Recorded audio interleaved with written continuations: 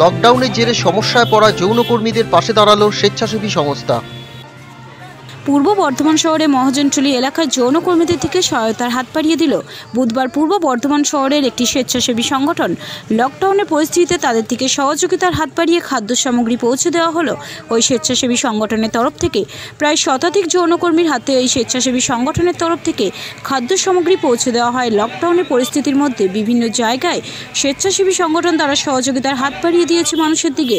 বর্তমানে মহাজনটুলি এলাকার যৌনকর্মীদের পাশে শিবকালীন মন্দির কমিটির পক্ষ থেকে সহযোগিতার হাত বাড়িয়ে দেওয়া হলো। স্বাভাবিকভাবেই খুশি এলাকার মানুষজন সহ যৌনকর্মীরা।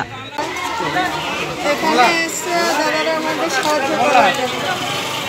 দাদারা এসে আমাদের সাহায্য করার জন্য। আমরা খেতে পারছি না এই কারণে দাদারা সাহায্য করছে। কাজকর্ম নেই পয়সা লকডাউন পয়সা করি পাচ্ছি না। বাল বাচ্চা ছেড়ে আমরা কৃষ্ণ কালী মন্দির থেকে চাল ডাল দেওয়া এই মুহূর্তে এই এই মুহূর্তে আপনারা কেমন অবস্থায় আছেন? আমরা তো খুব অসুবিধার মধ্যে আছি। এই যে কাজকর্ম নাই এরকম অবস্থা। খুবই এরকমই চলছে এমনি টুকটাক চলে যাচ্ছে। হ্যাঁ দিচ্ছে এরকম যে যেমন আজকে চাল ডাল এখন এই মুহূর্তে দেওয়া হবে।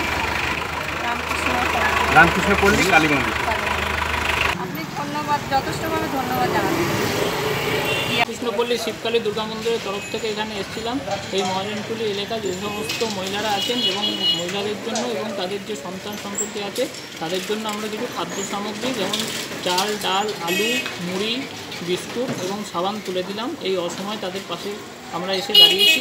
এই সময় তাদের খুব আর্থিকভাবে তাদের অচ্ছলতা চলছে, সেই জন্য তাদের পাশে এসে আমরা দাঁড়িয়েছি। এই যে এখন লকডাউন চলছে, এদের রুজি রোজগার এখন একদম বন্ধ। সেই কারণে এদের কোনো এখন আয় নেই। সেই কারণে আমরা মন্দির কমিটির পক্ষ থেকে আমরা বিগত দিনেও বিভিন্ন দান কাটিয়ে ছিলাম, বিভিন্ন জায়গায় ত্রাণ দিয়েছি। আজকে আমরা এখানে এসেছি।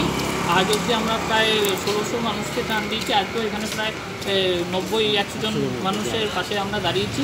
আজকে আরও বড় করে মানুষের পাশে দাঁড়ানোর যত্ন লকডাউন চলবে আমরা যতটা পারব, একদম পিছিয়ে পড়া মানুষের সাথে আমরা আছি এবং থাকব ভবিষ্যতে।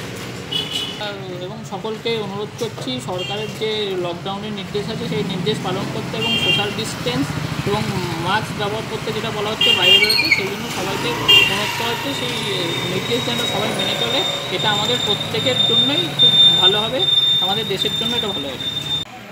পূর্ব বর্ধমান থেকে পাপাই সরকারের রিপোর্ট, টাইমস বাংলা।